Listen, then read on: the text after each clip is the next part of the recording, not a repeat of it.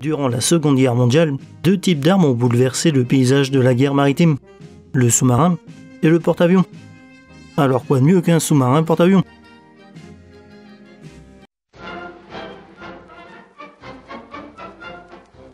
La marine japonaise s'est très rapidement intéressée à l'aviation navale, que ce soit avec le transporteur d'hydravion Wakamio, qui est crédité de la première attaque aéronavale de l'histoire en septembre 1914, ou avec le Osho en 1922, premier porte-avions achevé au monde. En 1925, la marine japonaise commence à étudier la possibilité de monter un petit avion de reconnaissance sur un sous-marin, le sous-marin HMS M2 britannique, reconverti comme porte-avions sous-marin une première mondiale la même année, n'est probablement pas étranger à ça. Le but était d'augmenter significativement les capacités de reconnaissance et de détection de ces sous-marins, surtout au vu de l'immensité de l'océan Pacifique.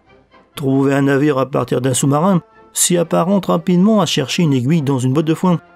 À une époque où le radar est encore quasiment de la science-fiction, l'avion est la solution parfaite.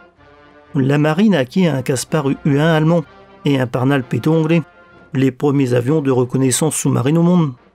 Ils servirent ainsi de base à deux prototypes, qui donneront le Yokosuka en 1939 et en 1931 rendre en service le sous-marin I-5, premier sous-marin porte-avions de la marine japonaise.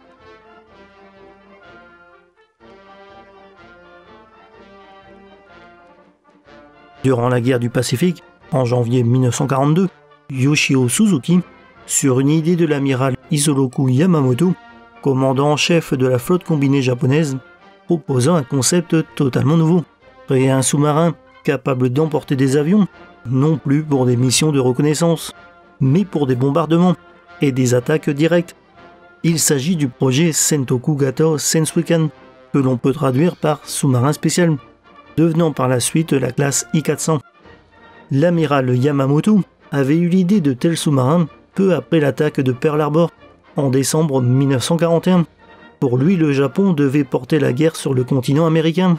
Seule chance pour espérer l'emporter. Il planifia alors des attaques aériennes contre des villes situées le long des côtes ouest et est des États-Unis. Pour cela, Yamamoto prévoit la construction de 18 sous-marins, capables d'effectuer au moins 3 allers-retours vers la côte ouest des États-Unis sans ravitaillement, ou un aller-retour vers n'importe quel point du globe, soit une autonomie de 30 000 miles nautiques et 4 mois de voyage, sans ravitaillement. Ils doivent également être capables de stocker et lancer au moins deux avions d'attaque, armés d'une torpille ou d'une bombe de 800 kg.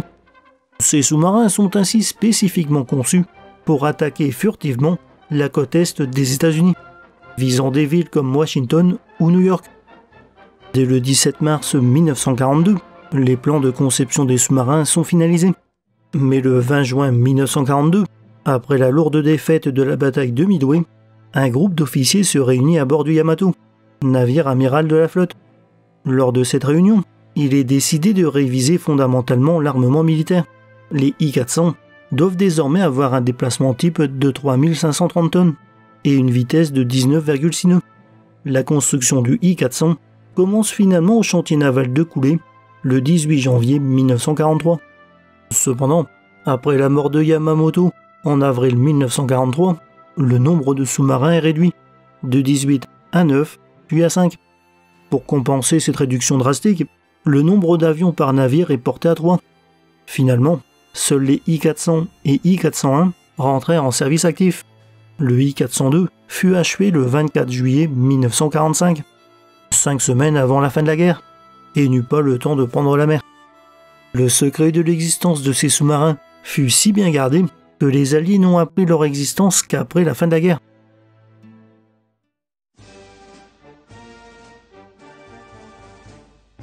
De par ses dimensions, la classe I-400 était la classe de la démesure. Ces sous-marins faisaient 122 mètres de long sur 12 de large pour une hauteur de 7 mètres. Ils étaient donc quasiment 30% plus longs que les sous-marins américains de classe Gâteau, principal sous-marin de la marine américaine, ce qui en fait facilement le plus grand sous-marin de la Seconde Guerre mondiale. Ils sont restés les plus grands sous-marins au monde jusqu'à l'apparition des sous-marins nucléaires lanceurs d'engins dans les années 1960. Avec de telles dimensions, ils étaient également évidemment incroyablement lourds, avec un déplacement à pleine charge en immersion de 6560 tonnes, soit le double de la classe Gâteau. Un record pour un sous-marin non nucléaire qui n'a été battu que récemment, avec le sous-marin chinois de type 32 et ses 6600 tonnes mis en service en 2012. La section transversale de sa coque pressurisée avait une surprenante forme unique en 8, lui donnant la résistance et la stabilité nécessaires pour supporter le poids de son hangar à avion. Pour propulser ces monstres, ils étaient équipés de 4 moteurs diesel de 2250 chevaux pour la navigation en surface et deux moteurs électriques de 2100 chevaux en plongée, leur permettant d'atteindre presque 19 nœuds en surface et 6,5 nœuds en immersion, soit environ 2 de moins que la classe gâteau. Ils étaient donc assez lents, mais en même temps ils n'avaient pas été conçus pour la vitesse. En échange, ils transportaient suffisamment de carburant pour faire une fois et demie le tour du monde, pouvant ainsi, théoriquement, attaquer n'importe où à travers le monde et revenir tranquillement au Japon sans ravitaillement. Mais forcément, ces dimensions entraînaient de gros inconvénients. Les I-400 étaient peu maniables en surface, en raison de leur petit gouvernail, et avaient une importante prise au vent, les faisant facilement dévier de leur trajectoire par vent fort. La profondeur maximale d'immersion de 100 mètres était supérieure à la plupart des sous-marins utilisés durant la guerre, mais n'était que de 82% de sa longueur totale. Ce qui pouvait évidemment poser des problèmes si le sous-marin plongeait à un angle trop élevé. Le temps de plongée de 56 secondes était, comme sa taille, très long, le double des sous-marins américains, rendant les I-400 particulièrement vulnérables aux attaques aériennes s'ils étaient engagés en surface. Surtout que leur taille les rendait facilement détectables au radar ou même simplement visuellement. Mais ils étaient de toute façon conçus pour faire surface, lancer leurs avions, puis replonger immédiatement avant d'être détectés. Ça peut tout de même rapidement devenir problématique si le sous-marin est détecté alors qu'il est en train d'envoyer ou récupérer ses avions. Ainsi, il fut fortement armé pour un sous-marin. Sur le hangar se trouvaient trois canons automatiques type 96 de 25 mm triple canon et un type 96 simple canon sur le kiosque pour la défense antiaérienne, ainsi qu'un impressionnant canon type 11 de 140 mm, pouvant engager un navire à 15 km de distance. Il possédait également 8 lance-torpilles, montés à l'avant. Ils étaient là surtout pour la défense, le sous-marin n'ayant pas vocation à engager directement le combat. En défense passive, on trouvait deux ensembles parallèles de câbles de démagnétisation allant de la poupe à la proue, destinés à empêcher le déclenchement des mines magnétiques. Un revêtement anéchoïque spécial, fait d'un mélange de gomme, d'amiante et d'adhésif, était appliqué sur la coque pour absorber les ondes des sonars ennemis et réduire le bruit des machines, réduisant ainsi, théoriquement, la détection en immersion. On ignore cependant son efficacité réelle. Ils étaient également équipés de deux radars. L'utilisation de radars était alors très récente sur les navires japonais, lui permettant de détecter des avions jusqu'à 50 km. En avril 1945, le I-401 se retrouva en réparation à couler, après avoir été endommagé par une mine. Il fut alors décidé d'en profiter pour l'équiper d'un snorkel fourni par les Allemands. Ce dispositif lui permettait de faire tourner ses moteurs diesel et de recharger ses batteries, tout en restant en profondeur de périscope. Un avantage certain pour un sous-marin. Mais la caractéristique unique de la classe I-400, c'est bien sûr son hangar à avion. Situé sur le pont supérieur, ce hangar étanche de forme cylindrique mesurait 31 mètres de long pour 3,5 mètres de diamètre. La porte d'accès extérieur pouvait être ouverte hydrauliquement de l'intérieur ou manuellement de l'extérieur. Les quatre marins chargés de la préparation récupération des avions pouvaient donc rester un certain temps à l'intérieur, permettant un gain de temps. À l'origine, ce hangar devait être plus petit et n'accueillir que deux hydravions. Mais durant la construction, en 1943, le plan fut revu pour compenser la réduction du nombre de sous-marins à construire. Il fut ainsi rallongé de 10 mètres, afin de pouvoir recevoir trois appareils.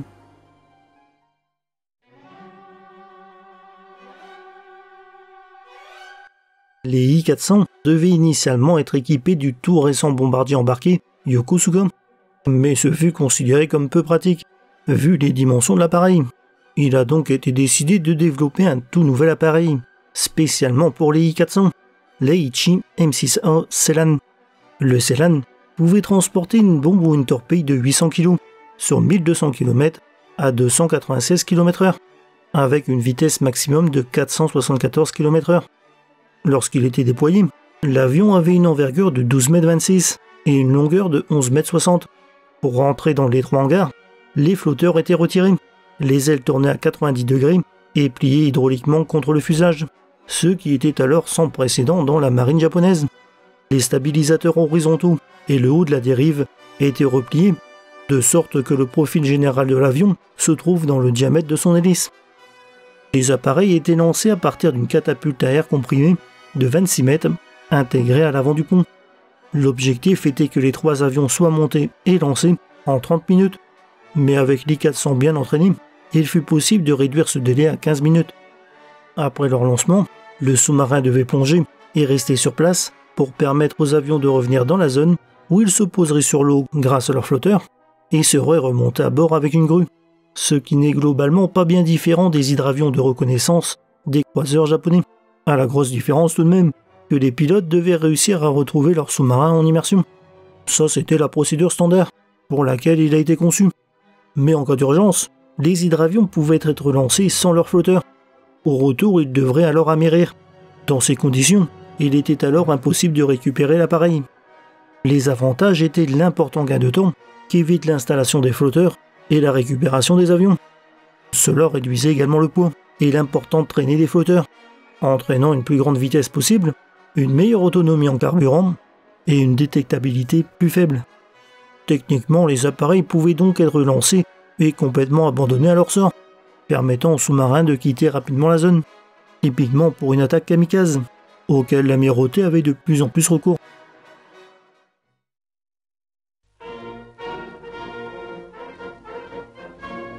Comme on l'a vu, la classe I-400 fut conçue pour attaquer l'Amérique du Nord. Avec 18 unités, ils auraient pu effectuer des attaques surprises sur des sites industriels ou économiques, des infrastructures de transport, des centrales électriques ou d'approvisionnement en eau potable, ou encore des grands centres urbains. En plus des dégâts matériels, tout cela ne manquerait pas de créer de vastes mouvements de panique dans la population, le but étant de déstabiliser le pays et perturber l'outil de production américain. Il semble même que les Japonais pensaient que cela pourrait retirer toute envie de combattre aux Américains. Si Isoloku Yamamoto avait conçu un audacieux plan pour attaquer New York, Washington et d'autres grandes villes, quand le premier I-400 fut lancé en janvier 1944, le climat avait bien changé et l'amirauté avait des priorités bien plus urgentes que des frappes de harcèlement.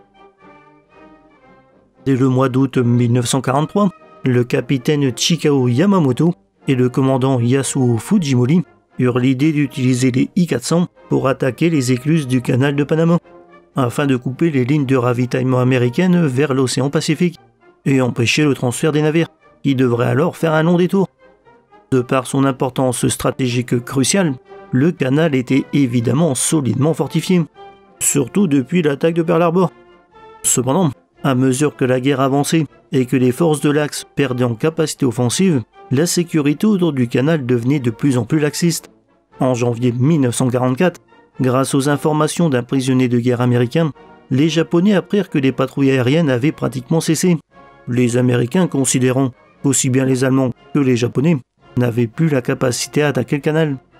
Le nombre de I-400 étant fortement revu à la baisse, Fujimori proposa que les I-13 et I-14, alors en construction, soient modifiés pour pouvoir embarquer deux Célanes chacun.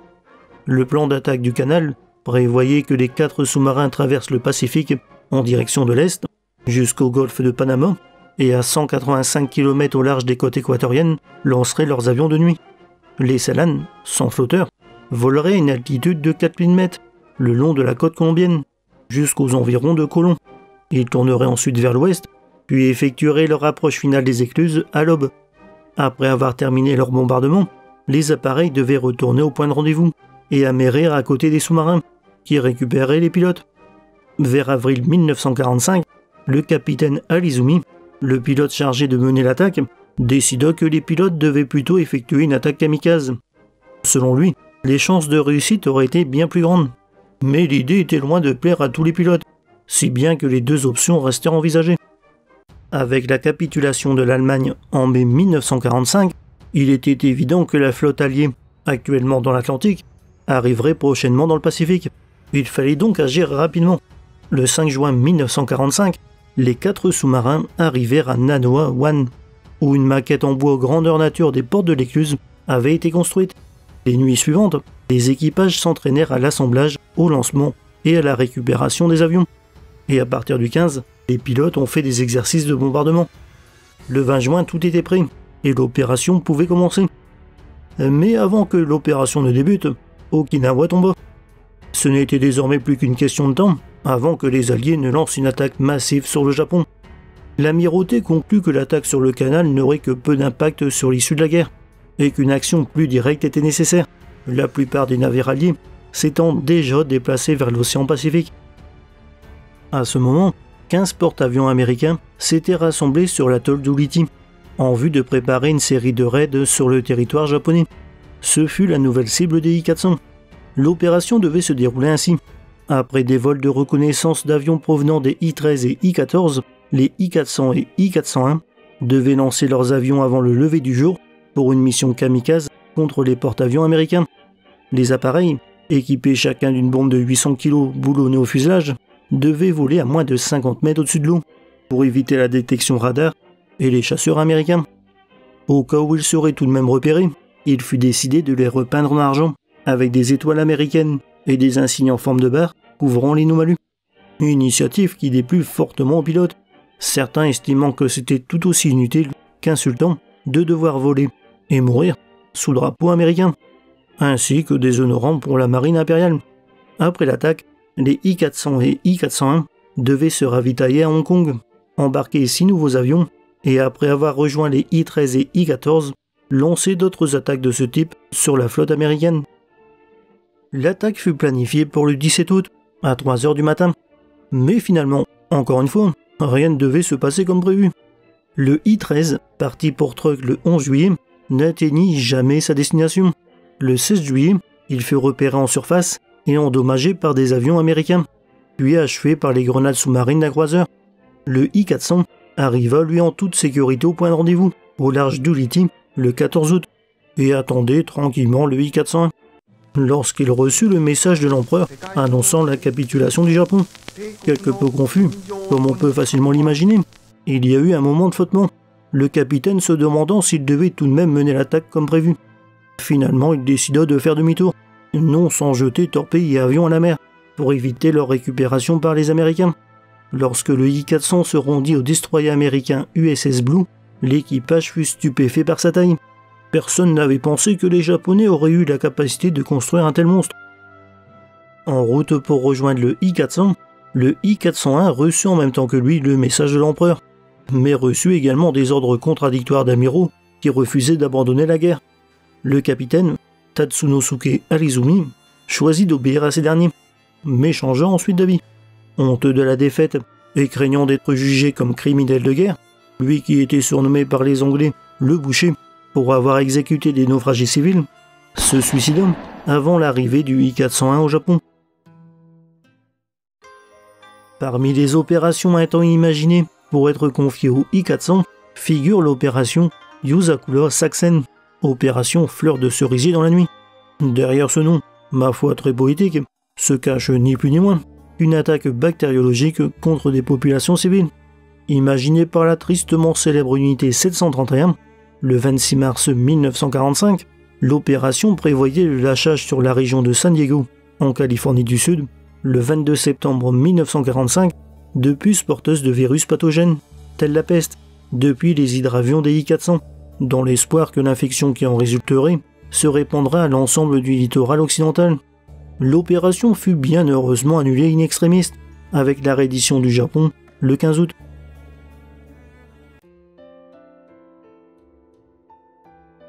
Selon les experts, la classe I-400 modifia considérablement l'image des sous-marins. Avant eux, les sous-marins n'étaient considérés que comme des armes anti-navires. Pouvoir frapper des cibles terrestres ouvrait de tout nouveaux horizons. C'est en quelque sorte l'ancêtre des sous-marins lanceurs d'engins. À la fin de la guerre, trois sous-marins de classe I-400 avaient été construits, et tous les trois y ont survécu. Le I-402 avait été modifié pour le transport de carburant, et n'était rentré en service qu'en juillet 1945. Les Américains les étudièrent, et envisagèrent même un temps d'utiliser les I-400 et I-401 dans leur propre marine. Sauf que pendant ce temps, les soviétiques apprirent leur existence et envoyèrent un message pour annoncer qu'ils envoyaient une équipe d'inspection pour les examiner. Pour empêcher ça, les Américains les envoyèrent à Hawaï et après une inspection plus poussée, les abordèrent le 4 juin 1946 afin d'empêcher que leur technologie ne tombe entre les mains des soviétiques. Une guerre venait tout juste de se terminer que déjà une autre s'annonçait. Voilà qui conclut cette vidéo. J'espère que ça t'a plu, mais si c'est le cas, je t'encourage à mettre un petit like, et au passage à t'abonner pour ne rater aucune de mes prochaines vidéos. Et en attendant, je te dis à bientôt pour une nouvelle vidéo.